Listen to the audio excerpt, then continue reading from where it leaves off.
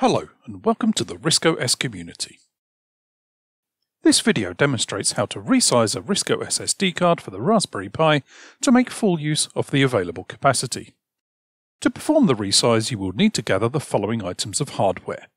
A Raspberry Pi, a freshly imaged RISC-OS SD card, see our video linked in the description on how to do this, a second computer that is able to run Linux, either natively or as a virtual machine, a USB SD card reader, and if necessary an adapter, and finally a USB stick.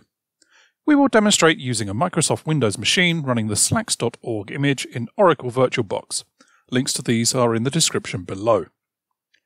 As part of this process includes reformatting of the SD card, we need to back up the contents of the card to our USB stick. The Create SEC self-extracting utility can help us with this task. In a web browser, open the riscosopen.org website and navigate to the Download section. Once there, scroll down to find the Miscellaneous section and open that page. When loaded, click on the link to download Create SEC Self-Extracting and place that on the USB stick. You can now eject the USB stick from this device. As it is very likely that our USB stick is larger than 2GB, we need to copy the FAT32FS module into the loader partition of our SD card before doing any further steps. This will allow us to access the data stored on the USB stick during the data recovery part of the process. On the Raspberry Pi, launch RISC-OS and then open the root directory of the SD card. Shift double click the Pling Boot application to open the Pling Boot application directory and then proceed to open the loader partition. Within Pling Boot, navigate to where FAT32FS is stored. RO520 hook, boot, pre-desk FAT32FS, then copy via drag and drop the FAT32FS module to the loader partition.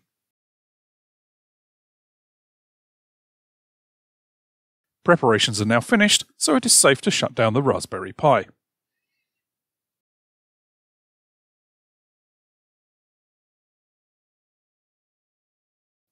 Over on our second computer, we need to launch our Linux environment. In this case, we are using VirtualBox on a Windows machine running the slax.org live distribution.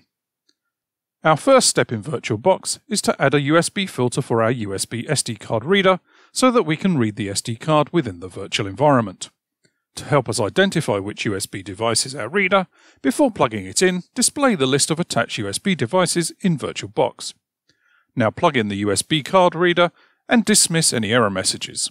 Go back to the VirtualBox and add a USB filter.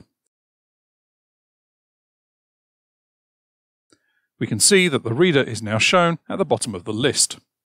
Keep the card reader attached and launch the virtual machine.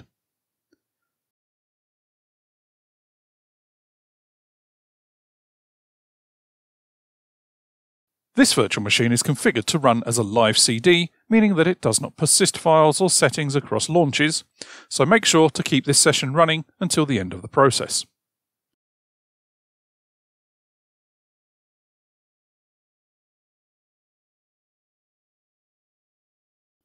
After going through boot up, open a terminal window. The default keyboard layout is US, so if necessary, switch the keyboard layout. In this case, we need a British layout. Before going further, open the File Manager to determine the device name assigned to our USB card reader. In this case, it is slash dev slash SDA, as we ignore the 1 which represents the first partition. Now, we need to download Chris Johns' ADFS tools from GitHub using wget. Type wget space https colon slash slash github.com slash c dash jo slash adfs dash tools slash archive slash refs slash heads slash main dot zip and then press enter. Once downloaded, unzip the archive by typing unzip space main dot zip. Now move into the adfs-tools-main directory by typing cd adfs-tools-main. We are now ready to read the loader partition from our SD card.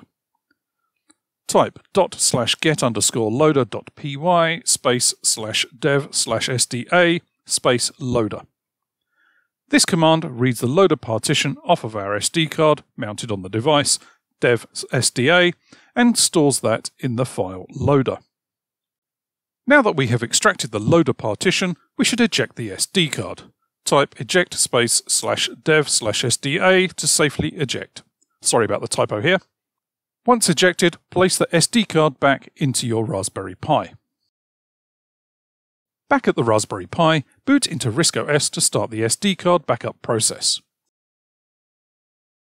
You will also need the USB stick on which we will be storing our backup files. Insert the USB stick into a free USB port of the Raspberry Pi and, once mounted, open the root directory. We will also need to create a RAM disk, so open the Task Manager by clicking Select on the switcher icon and scroll down to the RAM disk entry. Once there, drag the bar out until it reads at least 120 megabytes. We've gone for around 230 in this example. Close the Task Manager and open the root of the RAM disk. Copy the Create SEC utility from the USB stick and place it in the RAM disk. We need to change the file type of this file, so click Menu, or the middle mouse button, and navigate to Set Type in the File submenu. Change the existing entry to read Utility, and then click to accept this change.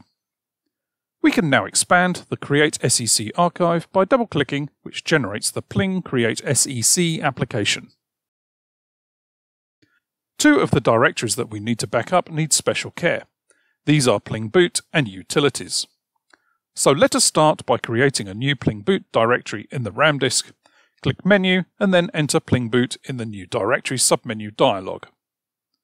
Open this newly created directory by holding down Shift and double-clicking. Now open the root directory of the SD card and also open Pling Boot by holding down Shift and double-clicking. Select all the files by dragging across the selection, and then deselect Loader by clicking Adjust or the right hand mouse button. Then copy these selected files across to the RAM disk using drag and drop. Close both of the Pling Boot directories and now copy Utilities from the root of the SD card.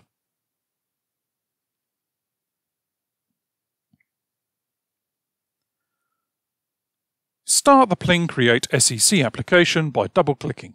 You will now see its icon appear on the icon bar. We will now start the backup process.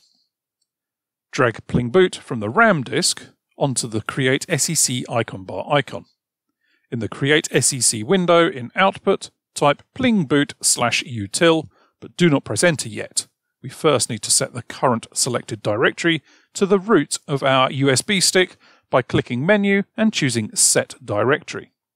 With this done, click Run in the Create SEC window and the archive will start being created on the USB stick. This will take some time, so wait until the title of the log window changes from Create SEC brackets running to Create SEC brackets completed. Once completed, close the log window. Now drag utilities from the RAM disk onto the Create SEC icon bar icon. Change the output to read utilities slash util and then click run. Again, this will take some time to complete, so wait until the log window title changes to create SEC brackets completed, and then close it.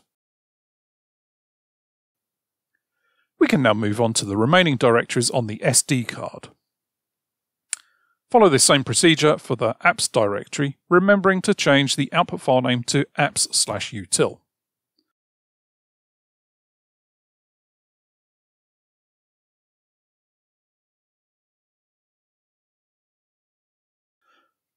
Follow the same procedure for the diversions directory, remembering to change the output file name to diversions slash util.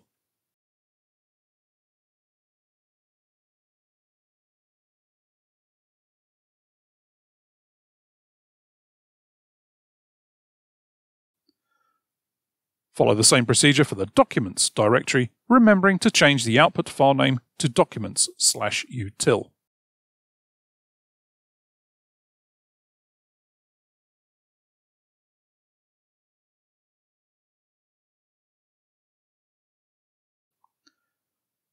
Follow the same procedure for the printing directory, remembering to change the output file name to printing slash util.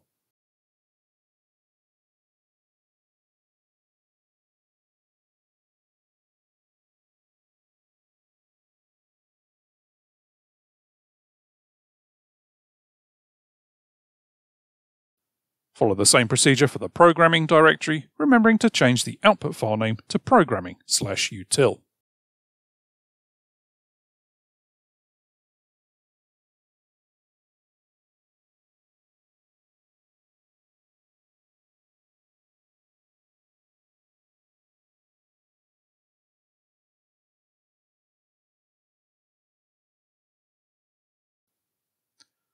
Follow the same procedure for the public directory, remembering to change the output file name to public slash util.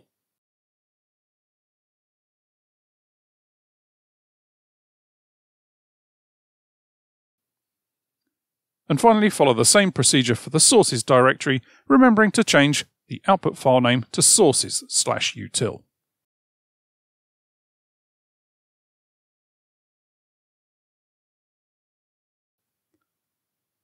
Backup of all the data from our SD card is now complete. Close the Create SEC application by clicking Menu and choosing Quit from the icon bar menu. Also, as we are going to eject the USB stick, reset the current selected directory to the root of the SD card. Click Menu and choose Set Directory. We can delete the RAM disk as we're now finished with that. Click Menu and choose Quit, accepting the pop-up message. Finally, eject the USB stick by choosing Dismount from the icon bar menu and then physically remove the stick from the Raspberry Pi. The next step is to format the SD card. Open the Utilities directory, followed by the Caution subdirectory, and then run pling hform. For the first option of drive connection, choose M for SDFS. Accept the drive option of 0. We are now presented with the detected shape of the drive along with its current format. Choose N to choose a new shape. For each option, accept the suggested values. For the defect list, choose A to continue without adding any more defects. Accept the I option to initialize the drive. Decline the soak test by accepting N. Accept the Y option to make the disk bootable. Accept the Y option to allow long file names accept the proposed large file allocation unit. Finally, enter Y when asked if you want to proceed. This will erase everything on this drive. Return back to the desktop once completed. We can now confirm that the entire capacity is available by checking the free space.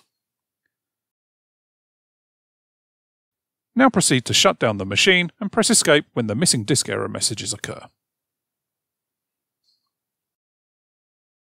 Remove the SD card from the Raspberry Pi and reinsert it into the card reader on the second machine. Copy the previously backed up loader partition using the command dot slash put underscore loader dot py space slash dev slash sda space loader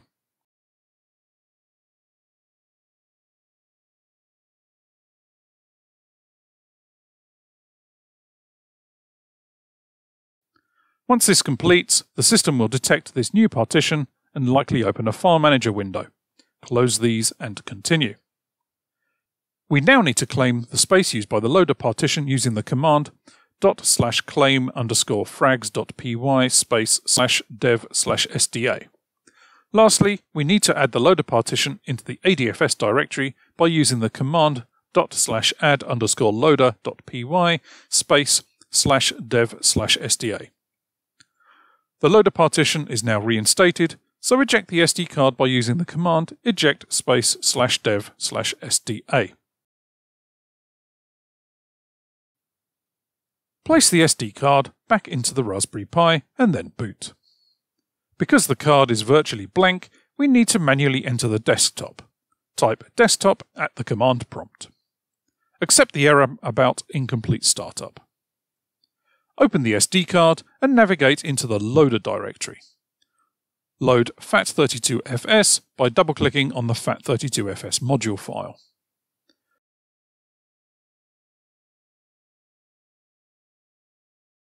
Before continuing with the restore, rename the SD card back to RISC OS Pi to avoid any potential issues.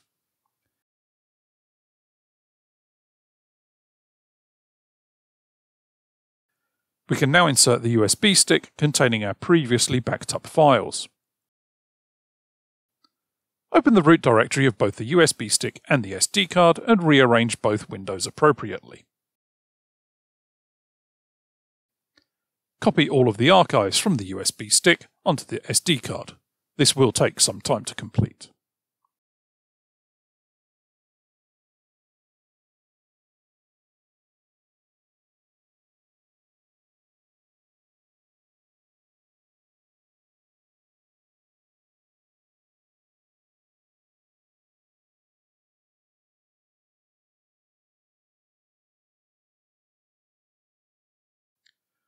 Once completed, expand each archive in turn by double-clicking each of them.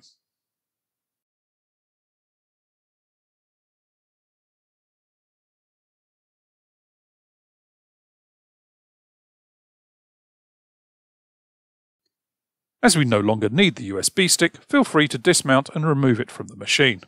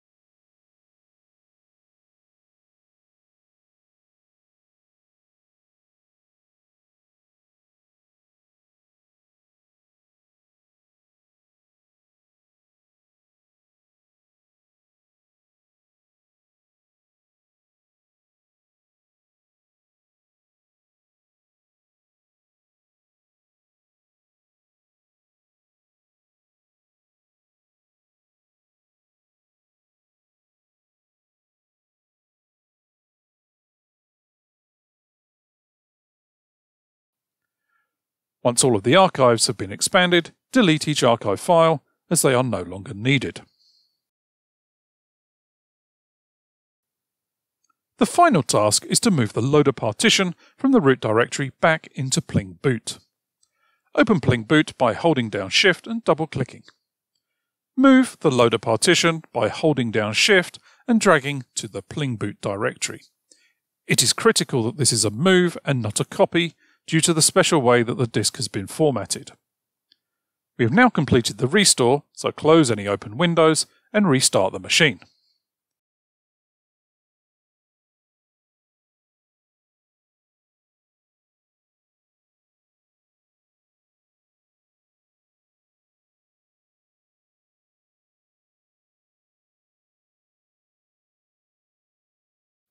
If everything has gone to plan, you should be presented with the RISC-OS Pi desktop as before, but with the full capacity of your SD card available to use.